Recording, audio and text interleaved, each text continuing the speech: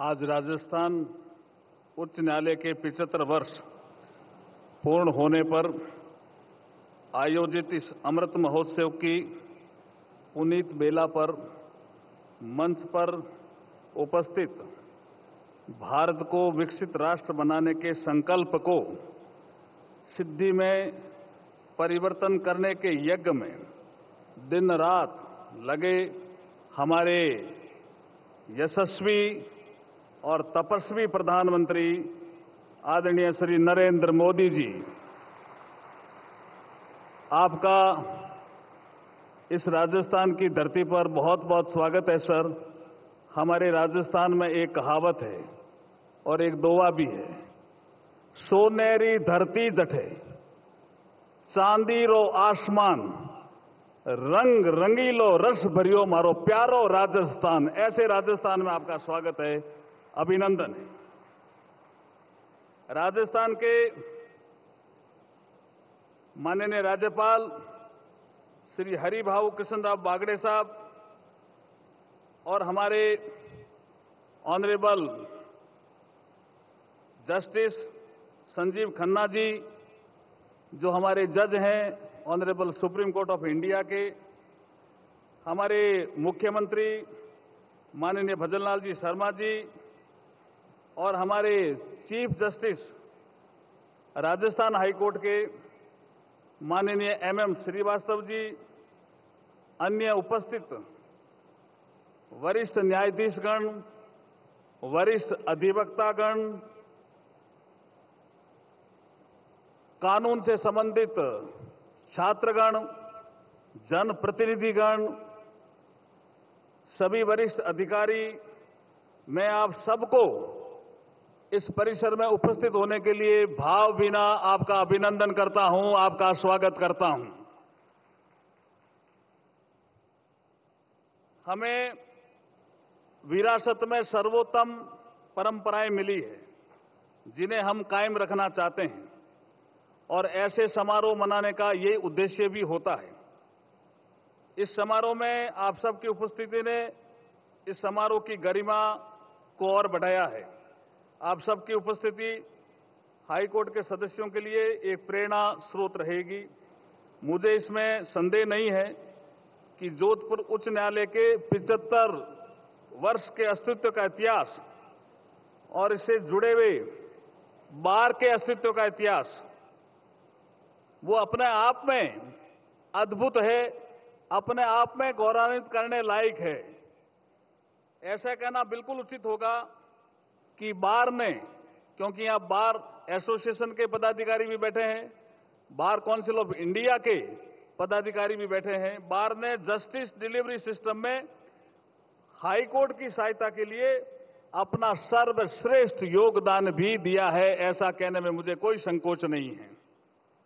राजस्थान के इस high court का उद्घाटन जयपुर के महामहिम महाराजा सवाई मान सिंह जी द्वारा उनतीस आठ उन्नीस को 1949 को जोधपुर में किया गया था और उसके 75 वर्ष पूरे हो रहे हैं।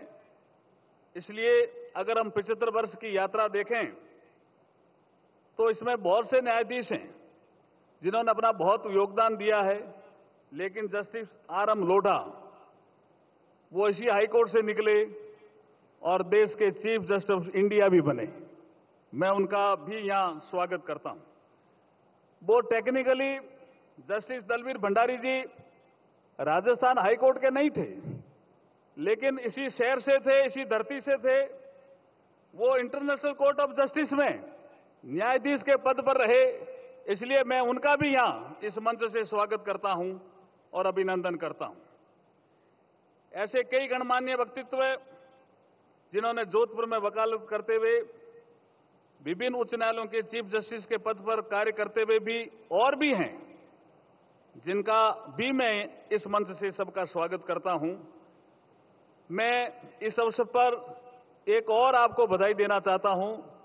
हाईकोर्ट के 75 साल हुए, हमारे संविधान को लागू हुए भी 75 साल हो गए। आधुनिक गण, गणराज्य के रूप में भारत की नींव हमारा गौरवशाली संविधान है, जिसकी आधारशिला ही न्याय है। बाबा साहब भीमराव अंबेडकर जी को किसी ने पूछा था कि अगर प्रस्तावना की आत्मा को कहना पड़े तो आप क्या कहेंगे? तो उन्होंने कहा कि लिबर्टी, इक्वलिटी और फ्रेटर्निटी, ये हमारे संविधान के प्रस्तावना की आत्मा है। जब उनको पूछा गया कि संविधान की आत्मा का ज़िक्र करेंगे और उनके लिए क्या आप क्या कहेंगे कि कौन सी संविधान की आत्मा है? तो उन्होंने कहा, आर्टिकल 32 मैं मानता हूँ कि ये संविधान की आत्मा है। ये बाबा साहब का कोट था। ऐसे संविधान जिसके 75 साल माननीय प्रधानमंत्री जी के निर्देशानुसार हम पूरे देश में मना रहे हैं, हमारा संविधान, हमारा सम्मान।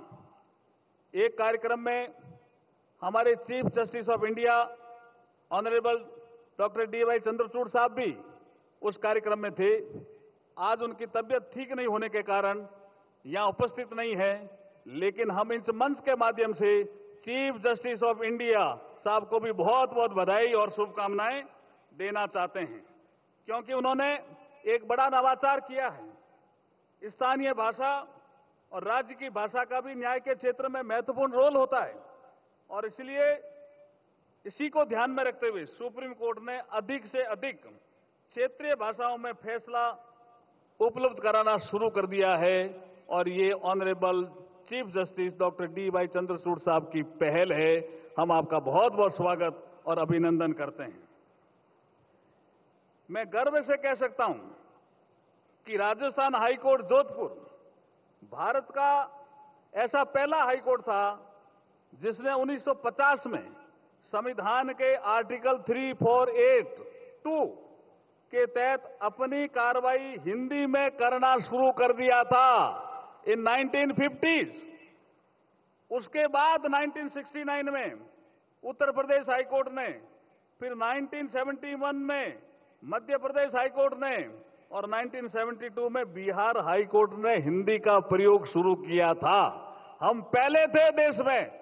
इसके लिए भी जिन्होंने भी ये इनिशिएशन लिया, उनको भी मैं बधाई और शुभकामनाएँ देता हूँ इस अवसर पर। सर जस्टिस की बात संविधान में भी की गई है। न्याय में आसानी प्रत्येक भारतीय नागरिक का अधिकार है, जिसको हमारे प्रधानमंत्री जी ने कहा है ईज ऑफ़ लिविंग हम अगर देखेंगे पिछले कई सालों के निर्णयों को तो हम पाएँगे कि ईज ऑफ़ लिविंग के साथ साथ ईज ऑफ़ जस्टिस को बढ़ावा देकर के प्रधानमंत्री जी ने citizen centric technology driven modern legal system इस देश को दिया है। इसके लिए प्रधानमंत्री जी हम आपका बहुत बहुत आभार प्रकट करते हैं। मैं इस अवसर पर कहना चाहता हूँ कि हमने पंद्रह ऐसे कानून जिनकी कोई आवश्यकता नहीं थी उनको आपके निर्देशानुसार हमने रद्द कर दिए हैं, रिपील कर दिए हैं। ये कानूनों की संख्या 1562 है। एक जुलाई 2024 से पुराने हमारे जो औपनिवेशिक काल के, जो हमारे क्रिमिनल लॉज थे, भारतीय दंड संहिता सीआरपीसी इंडियन एविडेंस एक्ट, इनको भी हमने संशोधित करके भारत की वर्तमान परिस्थिति के अनुरूप लागू कर दिया है एक जुलाई 2024 से। अंग्रेज़ों को, भारत के नागरिकों को दंड देना था, इसलिए वो भारतीय दंड संहिता लेकर के आए। आदरणीय मोदी जी को भारतीय नागरिकों को न्याय देना है, इसलिए मोदी जी भारतीय न्याय संहिता लेकर के आए। ये एक महत्वपूर्ण पड़ाव है। मैं इस संबंध में पुनः आप सबको बधाई देता हुआ अपनी शुभकामनाएँ देता हुआ, अपनी वाणी को विराम देता हूँ और एक पिचहत्तर साल का जो ये इतिहास है, इसमें न्याय तंत्र में जो विश्वास है, ये हमेशा बना रहे और बना रहेगा। इसी आशा और विश्वास के साथ आपको पुनः बधाई देता हुआ अपनी वाणी को विराम देता हूँ। जय भारत।